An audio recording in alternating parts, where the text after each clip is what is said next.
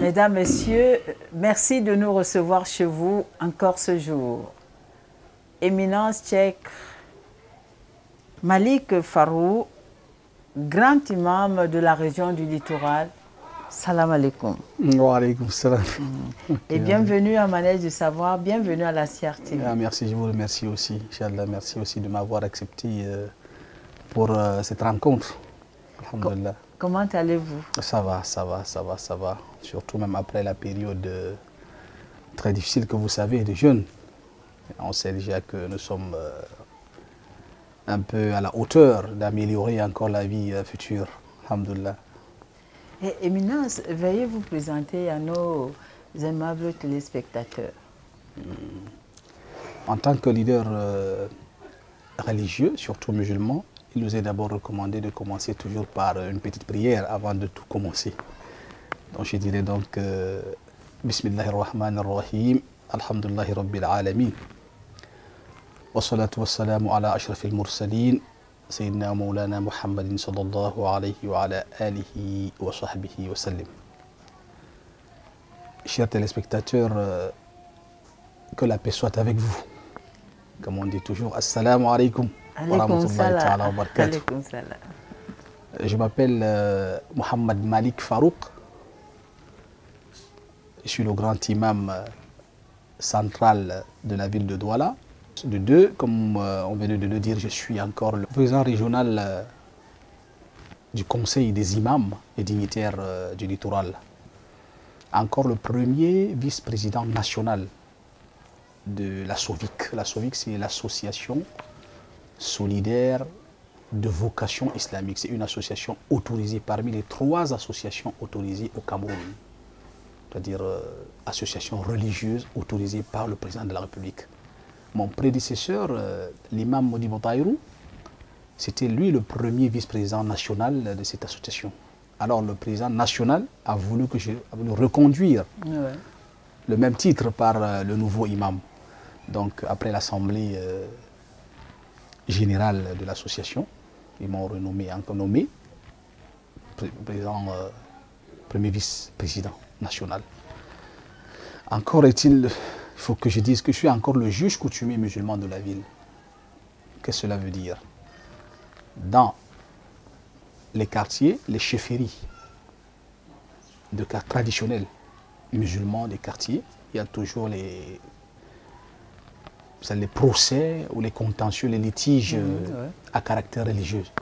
Bon, il y en a, il y a par exemple les juges qui sont là dans ces, euh, ces chefferies ou dans d'autres des communautés, comme la communauté Hausa, la communauté Fulbe, Bamoise, et ainsi de suite.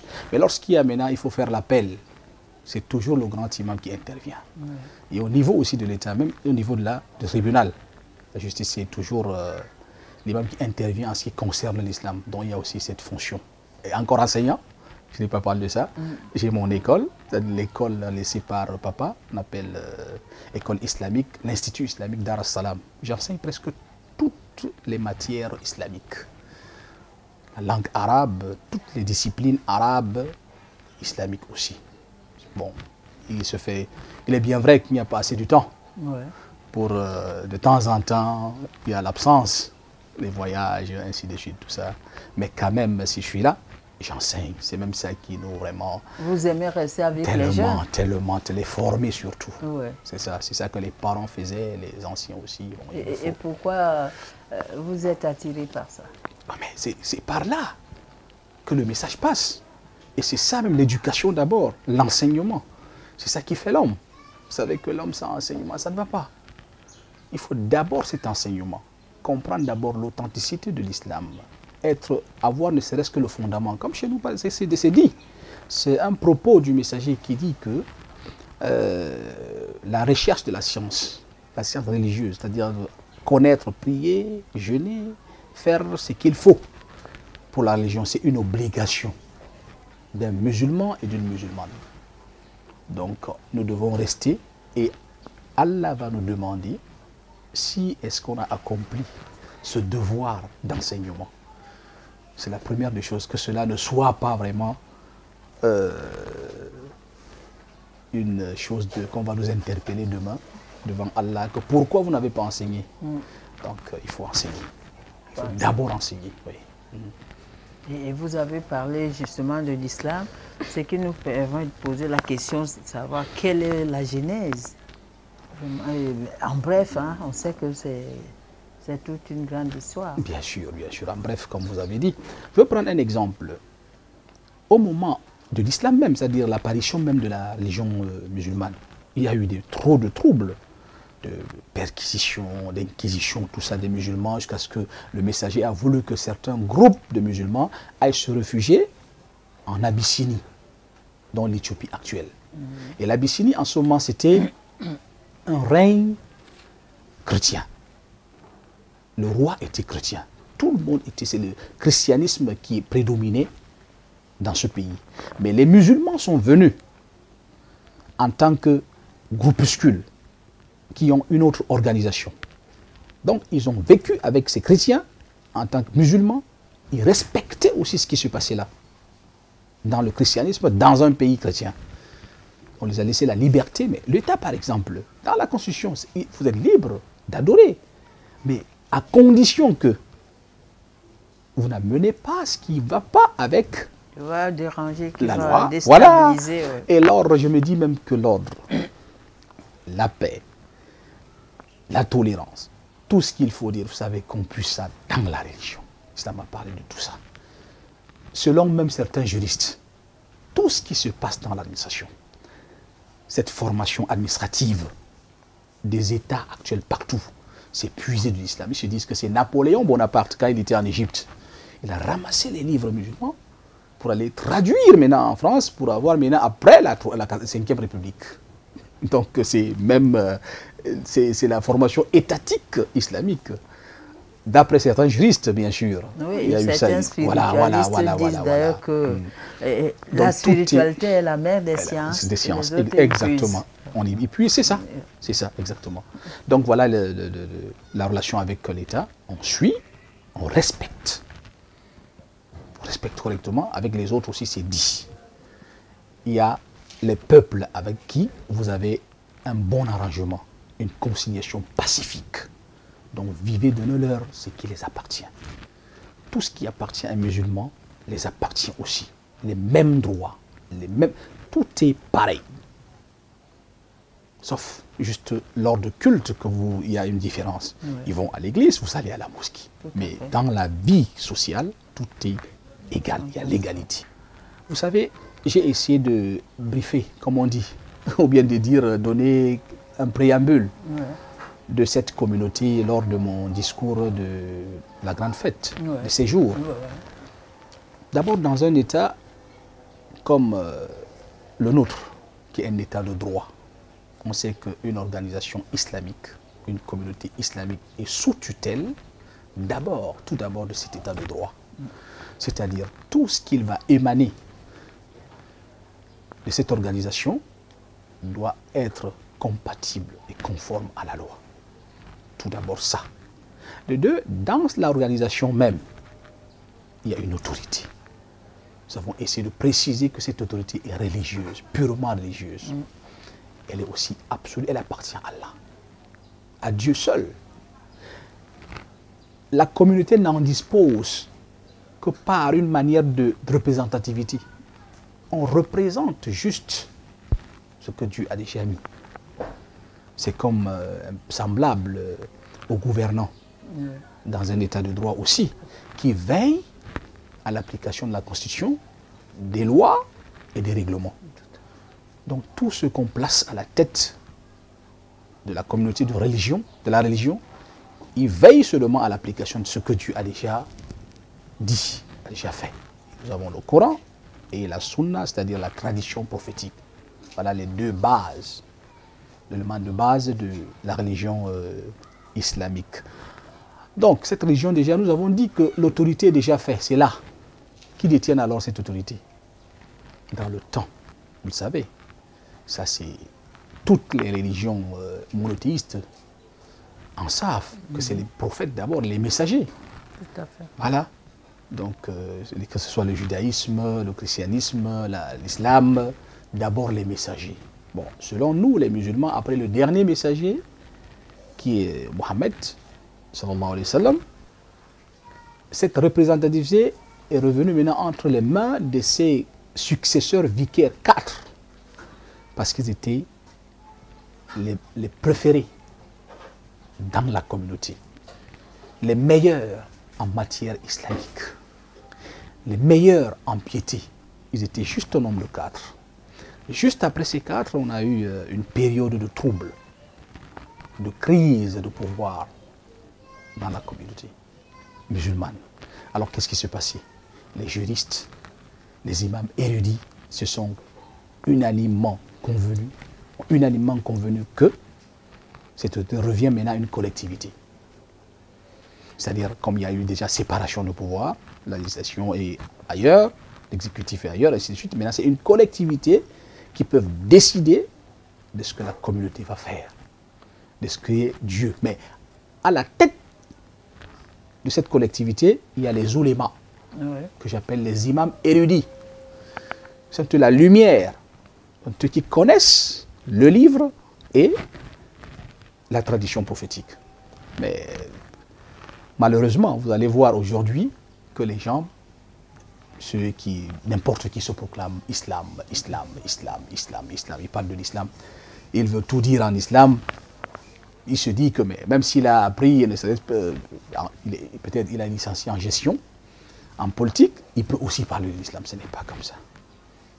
Ce n'est pas la même chose euh, chez les chrétiens.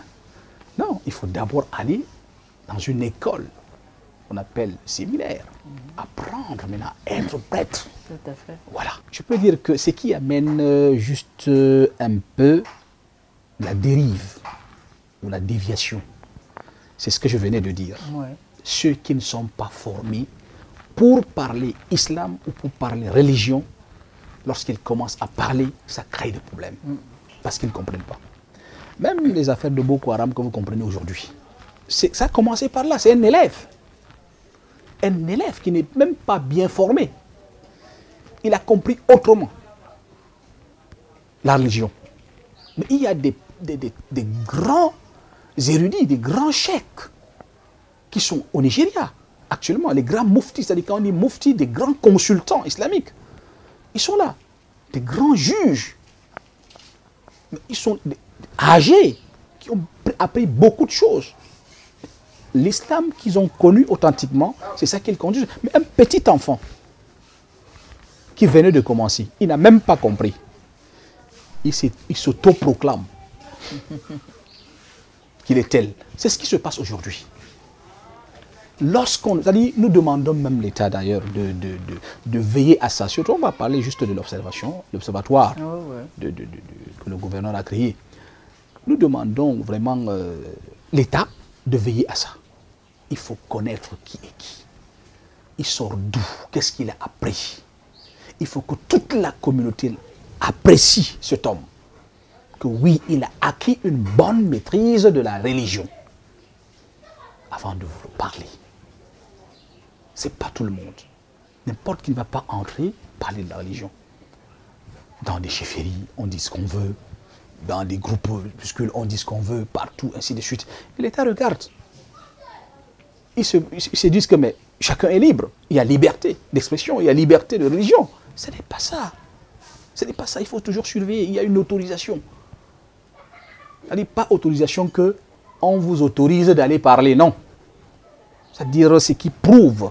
Si vous êtes maintenant administrateur, quelque part sous-préfet, il me prouve d'abord qu'il sort de l'ENAM. Maintenant, les journalistes, vous avez, euh, c'est pas une formation. Il y a une école.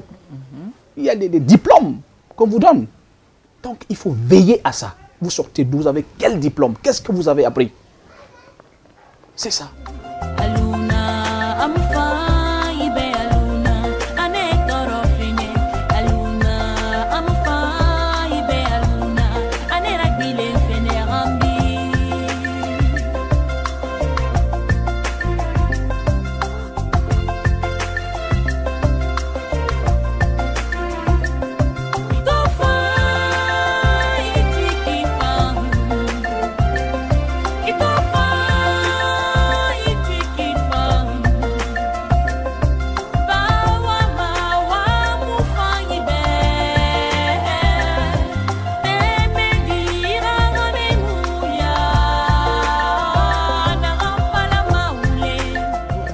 Qu'il y a des choses à faire encore pour protéger la paix, vu euh, tous ces, menaces euh, qui nous viennent de partout D'abord intérieurement et extérieurement. Ouais. Intérieurement, d'abord, la réorganisation de notre communauté. La seule communauté qui reste encore désorganisée, c'est la communauté musulmane. Nous ne voyons jamais ça chez les chrétiens. Si on envoie un prêtre quelque part dans un quartier, on sait que c'est un prêtre qui est bien formé et il a un chef qu'il envoie. Il rend compte à ce chef. Quand je dis un chef religieux, Ouais. jusqu'au Vatican. Mais ici, en islam, il y a même des mosquées qu'on ne sait même pas qu'on a créé ces mosquées-là. C'est après qu'on découvre, oui, quand il y a problème, maintenant euh, l'État nous saisit que, mais imam, il y a une mosquée quelque part, de- je ne la connais même pas. Qui est l'imam? Je ne le connais pas. On va maintenant, on voit que c'est quelqu'un, je ne sais pas,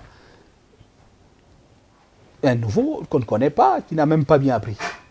Mais finalement, c'est à ce moment qu'il cherche, il va chercher maintenant à s'intégrer. Ouais. Voyez-vous, l'islam c'est comme ça, c'est désorganisé.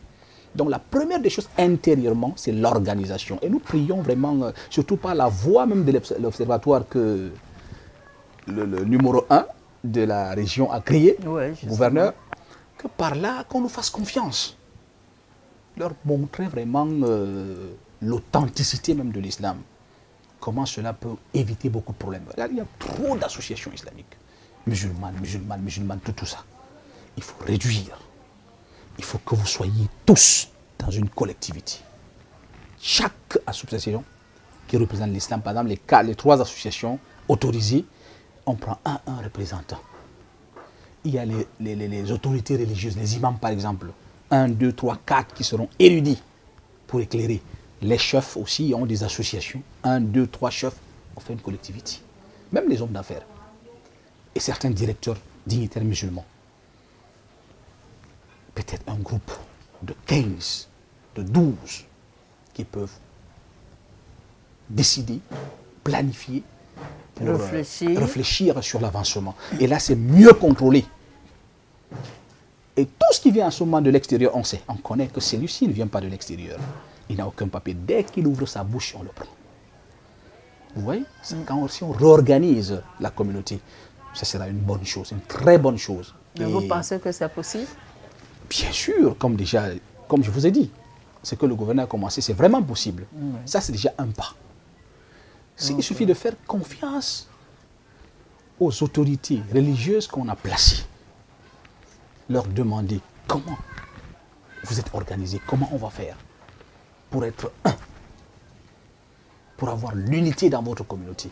Là, nous sommes en train de travailler sur ça. Ouais. Nous disons merci au gouverneur du, euh, de la région du littoral, Littoral, hein. Joseph Betty Inch'Allah. oui, qui a vraiment pris le taureau par les cornes, Mhm. parce qu'on a vu qu'ici, dans le littoral, il y avait des religions qui poussaient des églises euh, à tort et à travers. Mais je crois qu'à travers cet observatoire, Mhm, vous allez euh, remettre les choses, En les place, pendules, comme on dit à l'heure. Vraiment, vraiment, c'est ça. Voilà, Éminence, euh, dernièrement, vous avez effectué un voyage au Liban. Et quels étaient les enjeux de ce voyage? D'abord, mon voyage pour le Liban, c'était pour une formation. Oui. Il est bien vrai que la science de gestion, on l'avait apprise en faculté de droit. Mais c'était, vous savez, vraiment, c'est c'est la faculté, c'est vraiment un peu très rapide. Mais cette fois-ci, c'est une- c'était une formation intense, Ah oui, d'approfondissement. approfondie. C'est-à-dire, on entrait euh, en classe de 8h à 18h. Juste les pauses de 10 minutes. C'est une bonne formation. Parce qu'il y a juste des, des organismes islamiques au niveau mondial qui se disent que les leaders euh, musulmans sont abandonnés à eux-mêmes. Ils ont une bagatelle de connaissances, d'études, tout ça, mais en matière d'organisation, en matière de gestion de leur communauté, ils n'en savent rien. Donc ils commencent à recruter certains imams pour les former en matière de gestion. Donc on a acquis vraiment cette euh, bonne formation et vraiment euh, c'est un avancée aussi. Ce n'est pas juste ça. Arriver même au Liban, d'abord le paysage, ça dit beaucoup de choses. le sud du Liban, la, la limite avec euh, la Palestine, avec euh, l'Israël, tout ça. On a visité leur euh, peut-être euh, la grotte de Djita, tout ça, ainsi de suite, et aussi certains lieux saints, comme les, les, les- les- comment on dit, les, les- les tombes des, des- des- des- grands messagers passés, comme par exemple Jacob. On a vu sa maison, on a vu l'arbre qu'il a planté, Ouais. oui, bien sûr, au Liban, euh, comme euh, euh, le fils euh, d'Adam, le premier fils d'Adam, le second fils d'Adam, Chis, il a fait son tombeau, il a, il, a, il a plus de 10 mètres.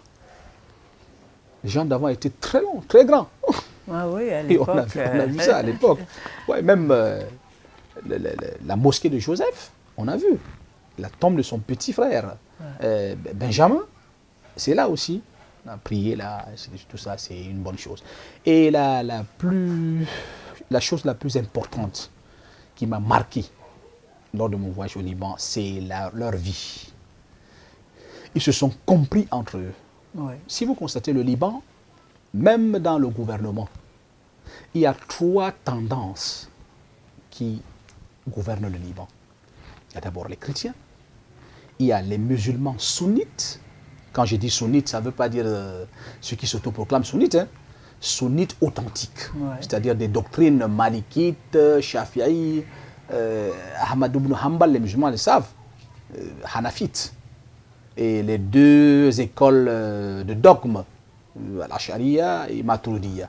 C'est ce qu'on apprend à l'école, ce qu'on appelle la sunna. Et puis les chiites. ouais. Les chiites, depuis lors du temps, il y avait cette séparation. Pourquoi? Tout ça, c'est la même chose.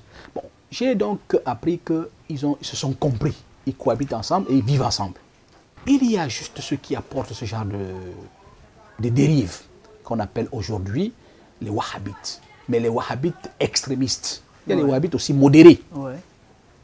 Il y a des wahhabites extrémistes qui s'appellent des salafites aussi. Partout, ils sont là. Eux, tout le monde ne connaît pas. Si vous n'êtes pas wahhabite, vous n'êtes pas salafite, vous ne connaissez pas. Mais c'est faux. Qui vous a dit que ce que vous faites est meilleur? Qui vous a dit que vous êtes droit? Qui vous a dit ça? Vous, êtes- vous lisez comme tout le monde les mêmes livres. livres. Et vous apprenez. comme Et tout le juste monde. les, ces différences, les, les- les- les- les- juste les divergences qu'on a, même c'est juste au niveau des branches pas même le fondament. Dans le fondament, que ce soit wahhabite, que ce soit soufi, il y a aussi les soufis par exemple, Ouais. ce sont eux-mêmes euh, qu'on appelle les sunnites, les sunnites authentiques. Les soufis, c'est-à-dire les spirituels. Les spirituels. Ouais. Voilà, comme moi par exemple, je suis soufi de la confrérie tidjanite. Ouais. Ça, c'est connu, il faut que tout le monde le sache, ils le connaissent d'ailleurs, bien sûr. Et il y a aussi chiites. Ces trois-là, le fondament, c'est la même chose. Même Dieu, même messager, même religion islamique, même orientation, même livre. Les prières, c'est cinq prières. Euh, la prière de l'aube, c'est deux. De, de 14 heures, c'est quatre. Chez tout le monde. hein. Les mêmes obligations dans les prières, c'est-à-dire euh, le faraïd, la salat, les mêmes obligations, Allahu Akbar, al-ruku, al-sujud, al-qiyam, c'est la même chose. Les cinq piliers de l'islam, la même chose. Même jeûne, même mois de ramadan, personne ne change. C'est la même chose. Si on vient aussi ben, le- la croyance, le dogme, c'est la même chose. Dieu, le jour dernier, euh, croire aussi euh, euh, aux anges, à tous les prophètes, prophètes et messagers passés, c'est la même chose. Voilà le fondament. Ça suffit, vous êtes musulman. Vous êtes musulman. Maintenant, c'est qui différencie l'autre et son frère à l'autre, c'est les œuvres, les bonnes œuvres et l'acte. Ouais. Mais ceux-là ne comprennent pas. Pourquoi? Pourquoi? Non, ceux-ci ne sont pas bien. ainsi de suite. Alors cela aussi m'a poussé à mieux comprendre maintenant le schisme. Quand j'ai vu ça, j'ai dit, mais pourquoi se fait-il que chez nous, on repousse ces gens? Qu'est-ce qu'il y a? J'ai donc cherché les livres. J'ai lu, j'ai lu, mais j'ai constaté que le schisme est comme une des doctrines des sunnites. C'est une doctrine aussi comme malikite comme Hanafite. Je suis malikite, moi, par exemple, ma doctrine. Il y a ceux qui sont Hanafites, ceux qui sont Hanbalites. Il y a ceux qui sont chiites. Quelle est la différence?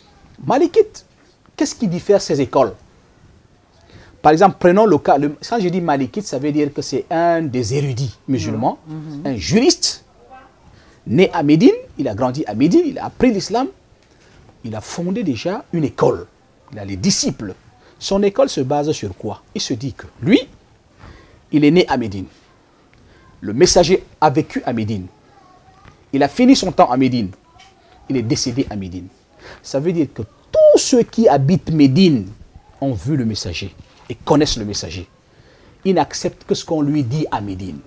Voilà comment il a bâti son école. Et c'est juste. C'est eux qui connaissent, c'est eux qui voient, qui ont vu le messager. Mais certains ont dit non. Malik, après le messager, ses disciples ont voyagé. Il y a d'autres qui sont à Bagdad, il y a d'autres qui sont à- en Syrie, d'autres au Liban, partout, un peu partout. Lève-toi, tu vas les chercher. Ils ont d'autres euh, traditions prophétiques, d'autres propos du messager que tu ne connais pas. Que non, non, non. Médine me suffit. Voilà son école. Le fondement de son école. Alors si vous voyez les chiites, par exemple, comment ils ont fondé leur école? Ils ont fondé leur école par le fait que tous les compagnons du messager, il y a quelques versets qui ont dit que vraiment la famille même du messager est purifiée. Que si Allah dit que ceux-ci sont purifiés, ça veut dire que leur religion c'est celle qui est pure. Selon eux. Ah ils ont suivi uniquement la famille. C'est une école. Vous voyez? Tout ce qui vient de la famille, c'est ça qu'on considère. En premier lieu. Ils peuvent considérer autre chose, mais en premier lieu, c'est d'abord ça. Vous voyez comment il y a un peu de différence entre les deux. Mais tous sont ensemble, tous suivent Mohammed. Ouais, le fondement. Le est fondement est la même chose. Éminence, le temps qui nous est imparti Ouais, ouais. tire à sa fin. Quel est le vœu qui vous tient le plus à cœur? Oui, c'est surtout ça ce que je viens de dire, euh, le problème de, de tendance. Ouais. Il faut qu'on s'accepte. Que le musulman accepte que vraiment... les- par, par exemple, chez nous, ici au Cameroun, nous avons trois tendances justes. Les soufis, les wahhabites et les, les chiites. Et tous, nous disons que nous sommes de la sunna. Acceptons-nous et vivons tous ensemble. Vous voyez déjà, comme vous avez parlé d'observatoire, c'est ce que le gouverneur a fait. Il a réuni tous ceux-là ensemble. Parlez-y de l'islam. Il a pris les chiites, il a pris les wahhabites, il a pris les, sou- les soufis. Il les a réunis. Montrez-moi l'islam authentique. Vous voyez déjà, c'est déjà un pas. Regroupez-vous. Travaillez sur l'islam. C'est ça. Donc, euh, on doit essayer de nous comprendre, s'accepter tel que Allah a voulu, de suite. Et aussi essayer de dire, mais il ne faut plus cacher euh, les choses. Il faut essayer de dire à certains dirigeants que voilà comment l'islam est. Séparer la tradition et l'islam. Ce qui est traditionnel et ce qui est religieux. Il y a l'amalgame. Trop d'amalgame. Trop de confusion. La tradition et l'islam pur. L'islam pur, les, guidons, comme on dit, de l'islam pur est entre les mains des oulémas. Les oulémas sont les qui? Sont les imams érudits. La tradition, les chefs traditionnels, ainsi de suite, tout ça, tous suivent ce que les oulémas disent. Donc la communauté va comprendre ça. Et puis aussi, je les souhaite aussi bonne chance et j'espère aussi que Allah a accepté nos prières pendant le jeûne de Ramadan et que tout le monde a aussi acquis ce qu'on voulait. Parce que le, jeûne, normalement, c'est pour euh, acquérir la piété, plus de piété, avancer, grandir spiri- spiri- spirituellement, comme on dit. Et j'espère que tout le monde a grandi. Alhamdulillah. Éminence, nous confions le Cameroun à Allah hein, pour que la paix règne Ça a dans été notre pays. toujours comme ça, ça a été toujours comme ça et on continue toujours à prier pour notre pays. Qu'Allah exauce tout ce qu'on a dit. Mes collègues tout partout au Cameroun, dans l'étendue du territoire, qui ont prié pour la paix, pour nos gouvernants, tout ça, qu'Allah exauce nos prières et qu'il continue toujours à faire de nous un pays vraiment d'émergence, de paix, de, de, de, de- sais pas comment dire, euh, c'est-à-dire de, de- de progrès. Ouais. Alhamdulillah, ça on, le, on le fait tous les jours. J'ai même donné de, certaines prières à faire euh, chaque fin de, prière quotidienne. Ouais, pour euh, le pays, pour la paix, et puis aussi qu'Allah nous donne la victoire sur ceux qui veulent nous menacer. Inch'Allah. Mesdames, Messieurs, nous l'avons suivi de la bouche de l'éminence Malik Farouk. Et La paix n'a pas de prix. Travaillons pour cela. Éminence, l'équipe de Manel Savoir vous dit merci de Je l'avoir vous euh, remercie accueilli aussi vous. de m'avoir aussi euh, accepté, accordé euh, cette interview. C'est très bien, alhamdulillah. Jazakumullah khairan, comme on dit en arabe. C'est-à-dire qu'Allah vous paye aussi avec, euh, par ses, ses- ses chères récompenses. Alhamdulillah. Mesdames, Messieurs, bonne journée.